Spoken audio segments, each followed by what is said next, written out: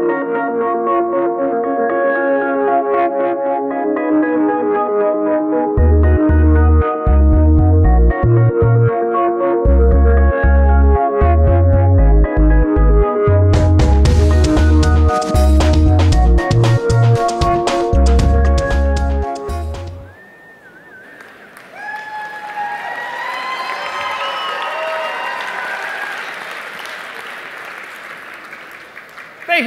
everybody. Uh, Jeff again, and I'm just going to go by Jeff and wing it that way.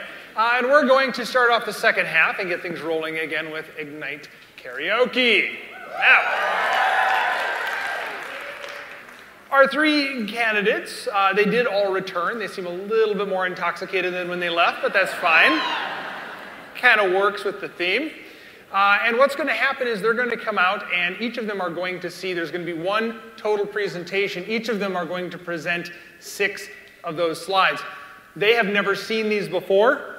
Uh, they are going to do six of these. There's kind of sort of a theme, but again, I was inebriated when I did this, so your mileage may vary on whether it makes any sense to you. They're going to see a switch sign, and the first person is going to run off. We're going to get the second person out here. She's going to give six of those slides, and then the third person is going to come out and wrap it up. And then we're going to return to all of you to vote on who actually won. Now, all three of them are going to win some fabulous prizes, courtesy of Bookmans, one of our great sponsors.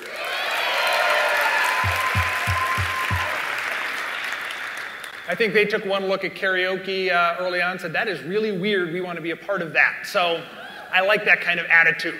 So, if you thought the regular presenters and, and that kind of exercise was scary, uh, they had a chance to rehearse. These people have never seen these things before, and most Ignite uh, karaoke presenters never speak to me again in their lives afterwards. it's a badge of honor, personally. But if you can give a big round of applause, I'd like to bring out our first presenter, Brett.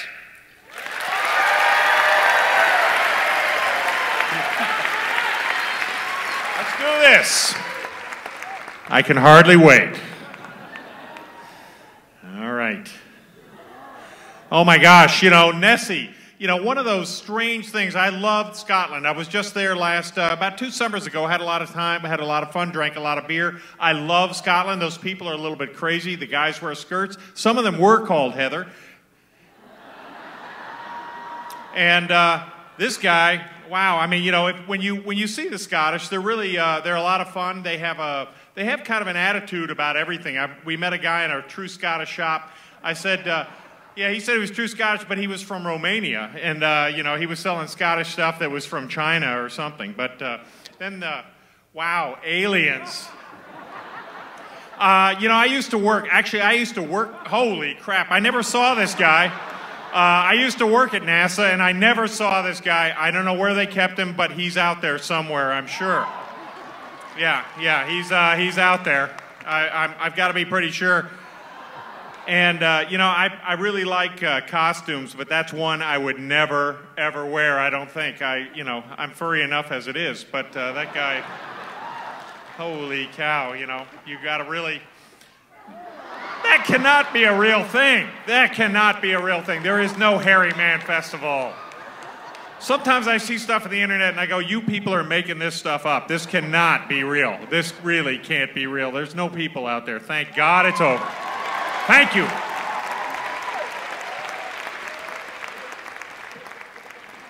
All right.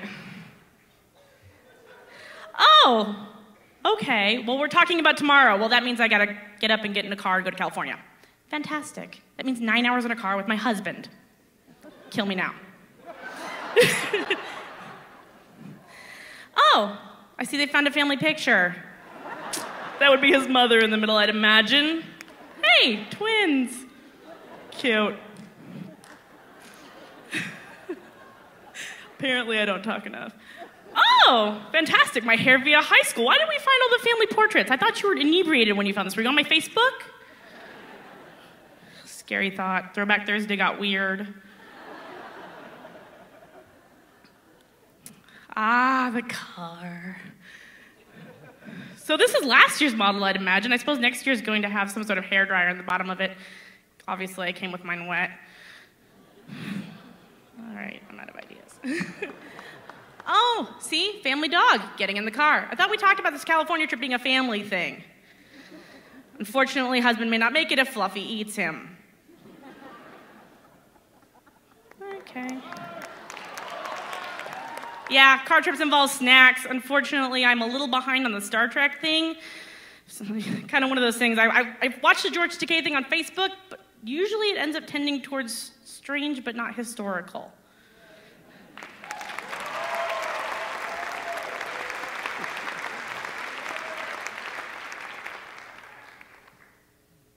It switch.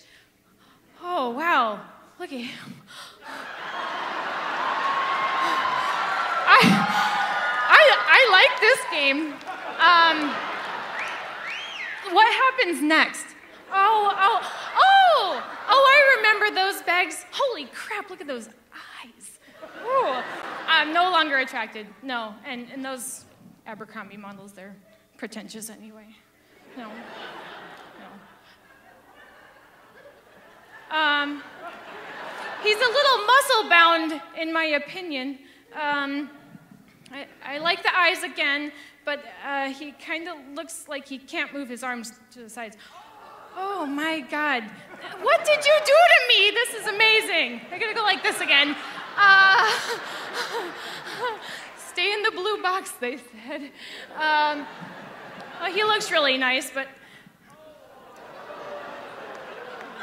kind of reminds me of my grandfather with that with that truck. How he took my grandma to the hospital when she was giving birth to my mother, and oh.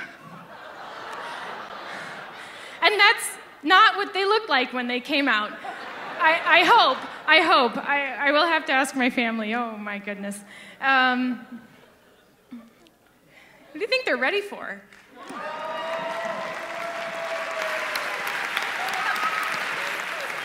You're. Come on.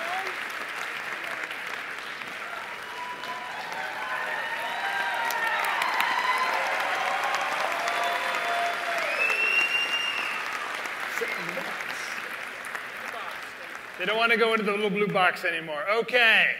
So, by a round of applause, who did the most convincing, wonderful job of karaoke? Was it Brett?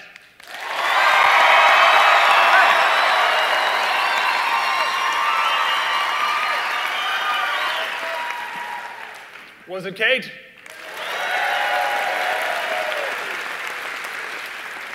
Or was it the very spinning, dancing Heather?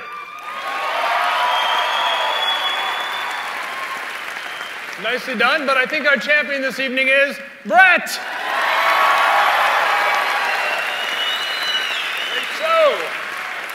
Fabulous. Thank you, sir. there's a Bookmans bag. Everybody wins up here. So thank you very much. Another big round of applause. Go ahead and head off stage and we'll get you out of here.